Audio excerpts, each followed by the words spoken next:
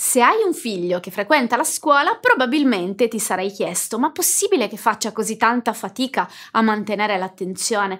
Perché sembra sempre guardare in giro quando io gli sto parlando o quando l'insegnante spiega, ma mi starà ascoltando veramente o starà pensando ad altro? Ma è normale che sia così o potrebbe avere delle difficoltà d'attenzione? Se ti sei mai fatto questa domanda, andiamo a vedere insieme più nel dettaglio che cosa vuol dire davvero avere delle difficoltà di attenzione.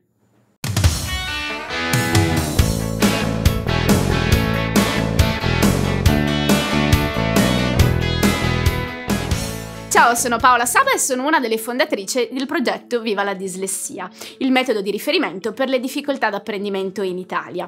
Oggi voglio parlare con te di quelle che sono le difficoltà di attenzione, un tema di grande attualità e di grande interesse, soprattutto se hai un figlio che frequenta la scuola. Si sente tanto parlare di difficoltà di attenzione, fin tanto che molti genitori mi dicono ma com'è possibile che mio figlio faccia così tanta fatica? Com'è possibile che sembri sempre distratto? Non sarà il caso di portarlo da uno specialista per capire se ha davvero delle difficoltà d'attenzione? Beh, devo dirti la verità, spesso si usa questo termine anche un pochino esagerando. Non ci sono così tanti bambini che hanno delle difficoltà d'attenzione che possono essere diagnosticate secondo quelle che sono, eh, diciamo così, le regole ufficiali per le diagnosi. Che cosa deve succedere perché un bambino possa avere una diagnosi di difficoltà di attenzione? Questa particolare forma di difficoltà che viene chiamata tecnicamente disturbo, quindi un disturbo da deficit di attenzione, per essere valutata richiede alcune, eh, alcune caratteristiche particolari. Primo, ci devono essere una serie di comportamenti presenti che devono ripetersi per almeno sei mesi. Questi comportamenti devono essere presenti all'interno di una lista, una lista che ne evidenzia 9. Di questi 9 devono esserne presenti almeno 6 ok? Quindi non possono essere comportamenti qualsiasi, ma devono essere all'interno di una lista specifica che adesso vedremo insieme.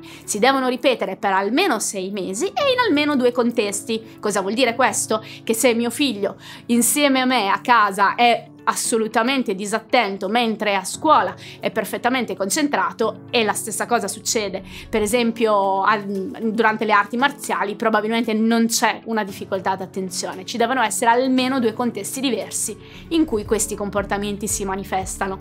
E cosa importantissima devono emergere prima dei sette anni. Ecco perché molti ragazzi oggi e tanti adulti, pur avendo difficoltà di attenzione, non hanno mai trovato riconosciute le loro difficoltà, perché probabilmente non si sono manifestate o non sono state viste al momento giusto e quindi non è stata potuta fare una diagnosi eh, in età abbastanza, abbastanza giovane.